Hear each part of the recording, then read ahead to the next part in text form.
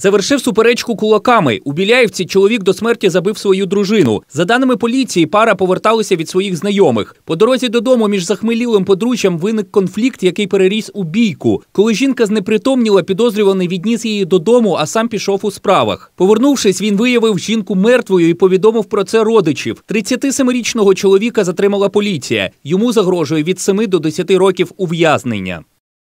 До поліції надійшло повідомлення від жительки села Граданиці про те, що її родичка виявлена без ознак життя. На теперішній час зловмиснику повідомлено про підозру за статтею 121 частиною 2 Кримінального кодексу України.